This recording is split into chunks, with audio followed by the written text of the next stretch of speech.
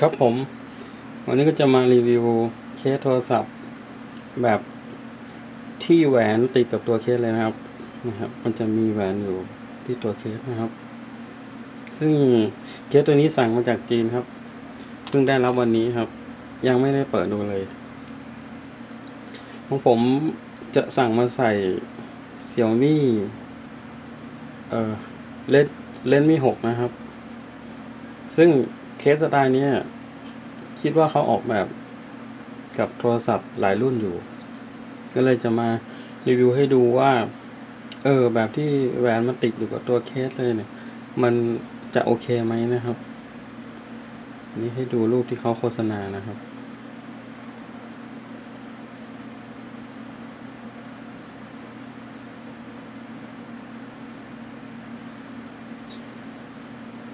สินค้าราคา เจ็ดสิบบาทครับ บวกค่าส่งสามสิบบาท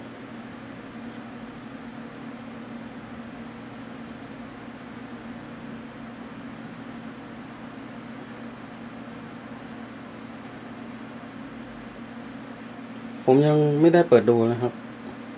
เนี่ยเพิ่งไปถึงก็เป็น ตรงนี้คือชื่อร้านเขานะครับ ถ้าอยากจะค้นหา ก็เออสั่งวันที่สั่งสินค้าคือวันที่สิบเดือนสิบเอ็ดสองศูนย์หนึ่งแปดนะครับชำระเงินก็วันที่สิบชำระตอนเก้าโมงเก้าโมงเช้าครับเก้าโมงยี่สิบสี่นาทีเขาส่งสินค้าให้วันที่สิบสองนะครับ ส่งสินค้าให้วันที่สิบสองวันนี้วันที่ยี่สิบเอ็ด นะครับ สินค้ามาถึง ก็เป็นการส่งมาจากจีนนะครับ เดี๋ยวจะให้ดูเส้นทาง อันนี้เป็นราคาสินค้านะครับเจ็ดสิบบาท จัดส่งสามสิบพวกนี้ผมใช้โปรโมชั่นโค้ดหรือว่า Shopee Coin ลดไปอีกเหลือเก้าสิบเอ็ดบาท จะให้ดูเส้นทางการเดินทางนะครับ ผมสั่งที่สิบ ของสองที่สิบนะ เดือนพฤศจิกายน แล้ววันที่สิบสองเนี่ย อยู่ที่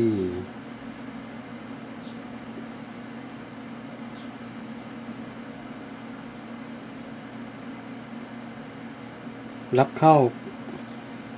รับเข้าวัน รับเข้าประเทศไทยกรุงกรุงเทพนะครับ วันที่ยี่สิบ อันนี้ก็อยู่ศูนย์ของศูนย์ของจีนนะครับ ศูนย์ไหนก็ไม่รู้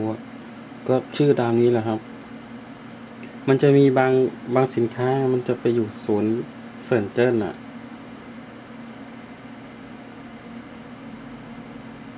ก็สั่งวันที่สิบนะสั่งวันที่สิบมาถึงกรุงเทพวันที่ยี่สิบ อันนี้เฉพาะร้านนี้นะครับ ให้ให้ดูเส้นทางการเดินทาง เผื่อใครจะได้ทำใจรอ แล้วก็มาถึงขอนแก่นวันที่ยี่สิบเอ็ดครับ มาถึงขอนแก่นวันที่ยี่สิบเอ็ดก็มาส่งผมเมื่อกี้นะครับ ตอน เอ่อเนี่ยบ่ายสองครึ่งตรงเนี้ยบ่ายสองครึ่งเห็นไหม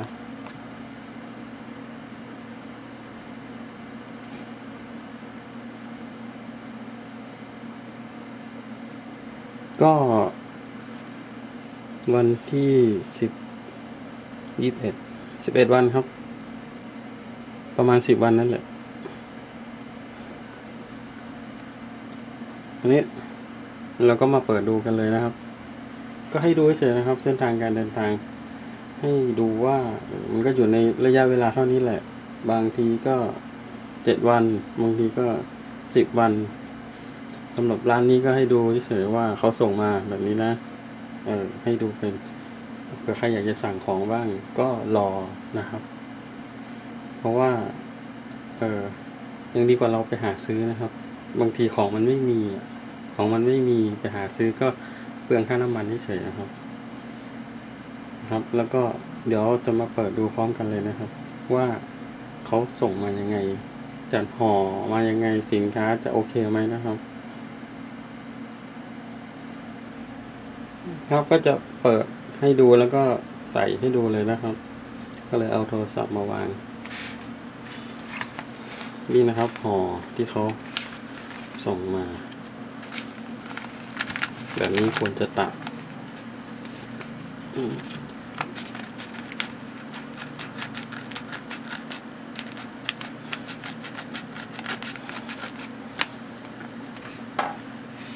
ถ่ายไว้เป็นหลักฐานนะครับ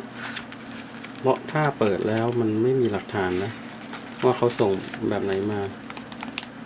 โอ้โห ตัดเมื่อกี้โดนตรงนี้โดนคือโดนซองเขาอะก็ไม่เป็นไรก็เหมือนกับตัดสองอันพร้อมกันได้เห็นแล้วนะครับ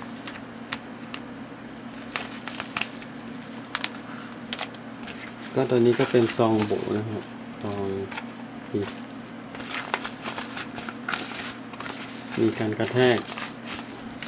ตัวนี้เขาก็ส่งมาแบบนี้เลยตรงนี้ก็น่าจะเป็นฝานะอืฝาเปิด เราไปตัดเมื่อกี้โดนหัวซองเลยก็ไม่เป็นไรครับ ไม่เป็นไรเพราะว่าจะเอามาใช้นะครับ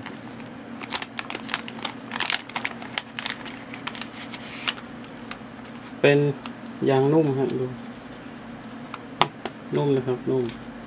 ตรงนี้เป็น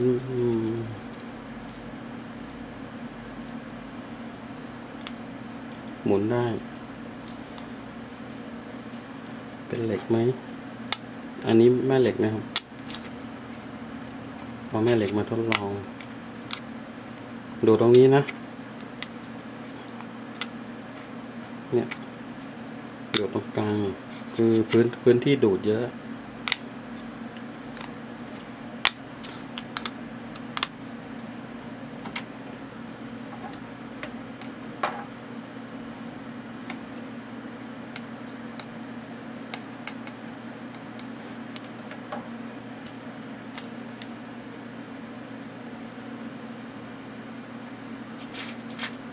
โอเคครับ แล้วจะลองใส่เลยนะครับ ตรงนี้ก็เป็น อืมก็เขียน Auto Focus ใส่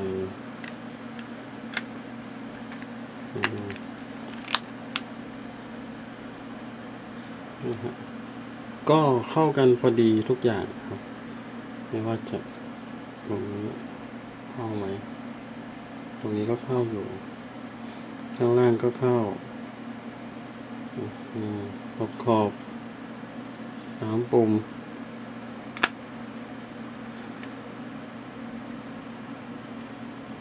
ขึ้นลงแล้วก็ปุ่ม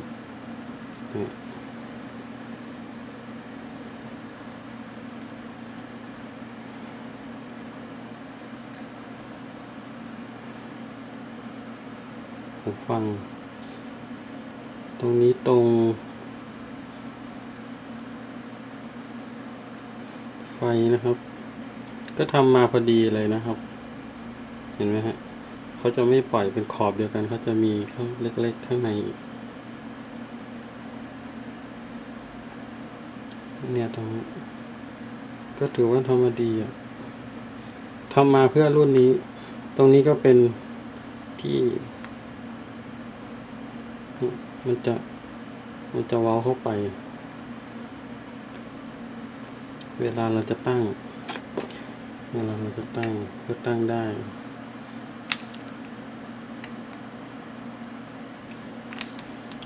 แล้วก็ติดรถเป็นแบบแม่เหล็กก็ดูดได้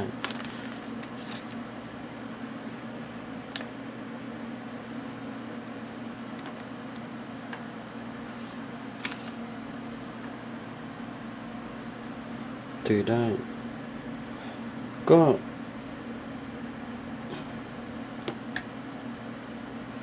ก็ดีอยู่นะครับ ตรงนี้มันแน่นดีอะแน่นดี ถือว่าสินค้าโอเคมาก นะครับ ทุกอย่างเข้ากันหมดนะ ตรงรุ่น ตรง ตรงรุ่นก็คือตรงรุ่นครับ ตรงรุ่นก็คือตรงรูด้วย เพราะว่ามันตรงรุ่น กระจกผมสั่งมาผมยังไม่ได้ใส่เลยว่าจะลองใส่เองให้เขาใส่ให้ก็ยังคิดอยู่นะครับ ครับก็ขอจบการรีวิวเพียงเท่านี้นะครับ สินค้าโอเค โอเคมากครับเจ็ดสิบบาท สั่งมาจากจีนนะครับ รอได้ก็ควรจะรอนะครับ เพราะว่าบางอย่างมันหาซื้อยาก หาซื้อยากเราก็ควรสั่งมาแล้วก็ราคาไม่แพงด้วย แล้วก็ของที่สั่งจากต่างประเทศถ้าราคาไม่เกินหนึ่งพันห้าร้อยบาท เขาไม่คิดภาษีนะครับ เขาไม่บวกภาษีเพิ่ม ไม่ต้องกลัวครับ ครับ ก็ขอจบการรีวิวเพียงเท่านี้ครับ ขอบคุณที่ติดตามรับชมครับ ขอบคุณมากครับ ครับ ต่ออีกนิดนึงนะครับ มาดูกัน ว่าตรงนี้มันจะ มันจะทนไหมนะครับ การใช้งานของมัน นอกจากที่มันหมุนได้แล้วเนี่ย มัน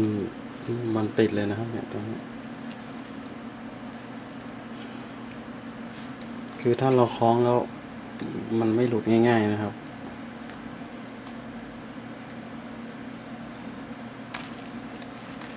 แล้วก็ การแกะ การแกะ นอกจากจะแกะตรงนี้ได้แล้ว พอหมุนมาตรงเนี้ยพอหมุนมาตรงนี้ใช่ไหมครับ ตรงนี้มันแกะไม่ได้ แต่ตรงนี้มันจะมันจะเหลื่อมออกมา มันจะเหลื่อมออกมาให้เราแกะได้ เขาก็เลยทำเขาเลยไม่ทำเป็นวงกลมไงครับ มันจะเป็นออกลีลีนิดนึงอืมเห็นนะ ตรงนี้แกะได้ อันนี้ก็จะสนิท แนบ แนบไปอยู่ตรงนี้คล้องก็ไม่มีปัญหานะครับคล้อง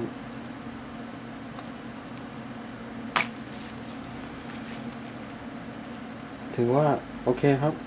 ก็ให้ดูอีกนิดนึงนะครับเผื่อใครสงสัย ว่าถ้ามีแหวนติดเคสมันจะดีไหมแหวนโทรศัพท์ ดีกว่าเราไปซื้อมาติดนะผมว่ามัน มันเป็นชิ้นเดียวกันดีอะครับ เขาจบเพียงเท่านี้ครับ ขอบคุณมากครับ สวัสดีครับ